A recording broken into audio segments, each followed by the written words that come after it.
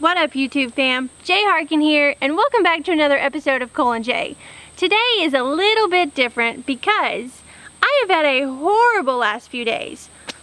I have fallen victim to poison ivy. And today I'm here to help you learn how to identify it and how you can treat it if you do come into contact with it.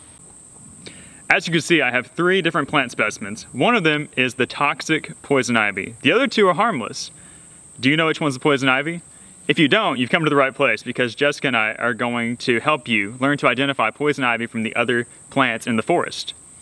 Now, one of these plants looks very much like poison ivy. The other one, not so much, but you could get it confused.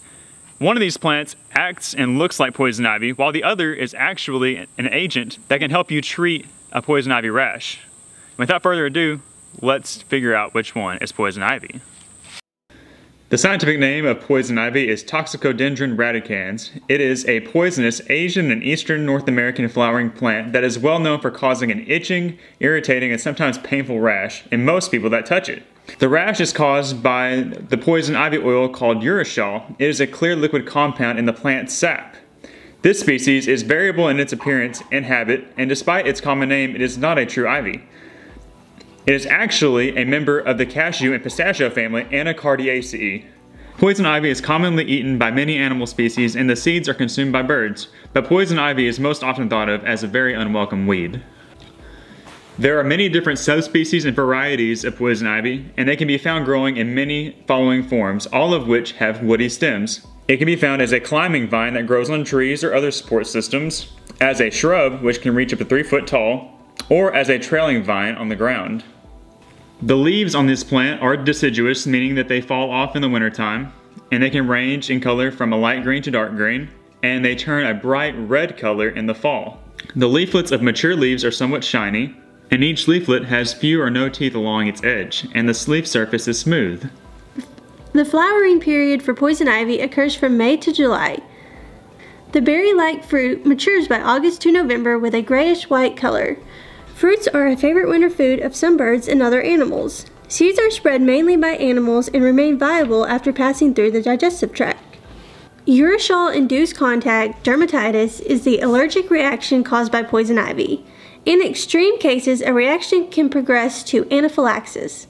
Around 15 to 25% of people have no allergic reaction to urushiol, but most people have a greater reaction with repeated or more concentrated exposure. Typically, the rash from the urushiol oil lasts about 5 to 12 days, but in extreme cases, it can last a month or more. Over 350,000 people are affected by urushiol annually in the United States.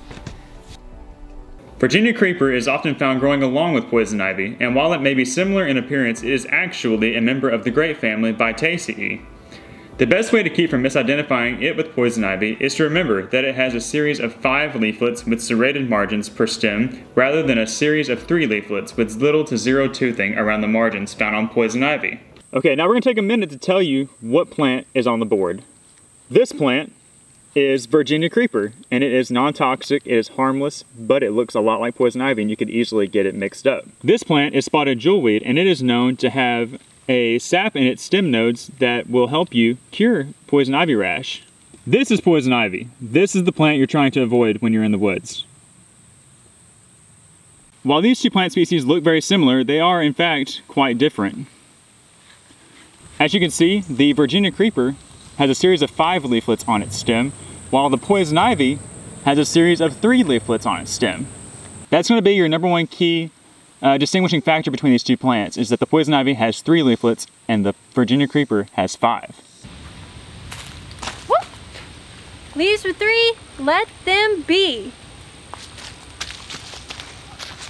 Now that we've shown you what poison ivy looks like, let's take a look at the awful things it could do to you. A few days ago, I was out fishing and I wasn't paying attention to my surroundings, and now I'm suffering the consequence of it. Let's have a look at Jessica's consequences not pretty. Oh. Yeah. Jessica has it really terrible.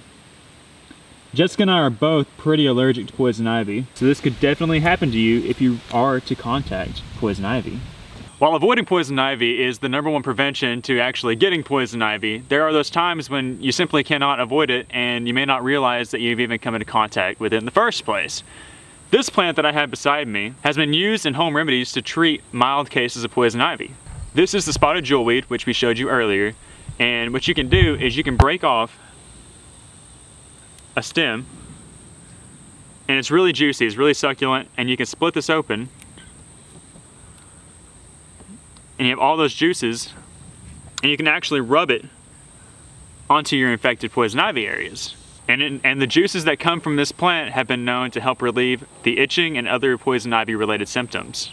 Even though I've contracted poison ivy many times in my life, I'm not afraid of it. I know how to wash it off effectively and prevent myself from getting a horrible poison ivy rash. Let's go. Cole just did a dumb move and grabbed a handful of poison ivy, so we gotta act fast. Let's go!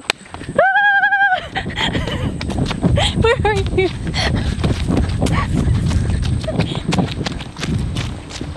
Okay, so we just rushed back home and we brought you into our guest bathroom because you're our guest. But now we gotta act fast because Cole grabbed a handful of poison ivy and that just wasn't very smart. So we're gonna show you the best way that works for us to remove the poison ivy oil from your skin and hopefully Cole will not get poison ivy. Okay, so we have the Dawn dishwashing liquid. This is really good, helps save wildlife, and it's going to work as our agent to help remove the poison ivy oils. There's several other different types of poison ivy soaps you can get that will help uh, you, but this is just an easy, cheap way to get it off. And at the end of the day, it's really about getting the friction, I mean, getting enough friction on your hands that you can remove the poison ivy oil. Think of the oil as like a, let's get the water going. We're gonna use cold water. You don't wanna use hot water. If you use hot water, it's gonna like open up your pores and it's going to allow the poison ivy oil to enter them. So we're gonna start with cold water. And we're gonna rub this in really good. And then what we're gonna do is we're gonna take a rag and a loofah, it's key. Loofahs are really good, they can help get between the fingers. And we're gonna start scrubbing. So here we go. Let's get it wet. And let's start scrubbing the heck out of it. Let's take the old trusty rubber, rubber, rubber wedding ring off.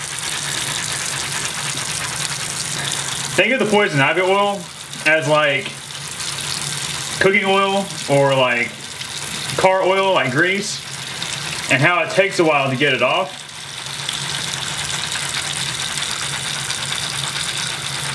You really just gotta scrub, scrub, scrub, scrub, scrub, scrub. And you might could scrub the surface of your hand really good and the top of your hand, but if you don't get between your fingers, you're gonna get it between your fingers.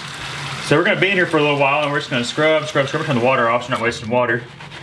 We're just gonna scrub and scrub and scrub in between our fingers. We don't wanna sit here in the bathroom and watch y'all wash my hands forever. and we're gonna wash that off, but maintain, keep using the cold water.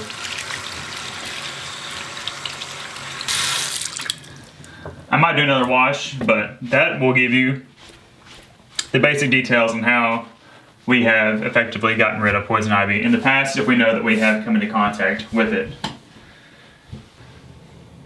Hey guys, it's a few days later. We wanted to take a few days to see if the washing method was gonna help clean off the poison ivy oils and what do you know? My hands look great. I don't have any signs of poison ivy reaction and I guess it was all due to that intense scrubbing we did in the bathroom.